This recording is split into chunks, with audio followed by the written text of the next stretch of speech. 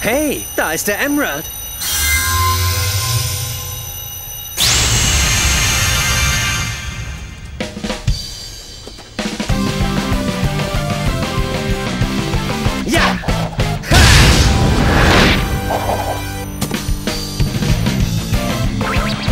Ganz schön pfiffig, was?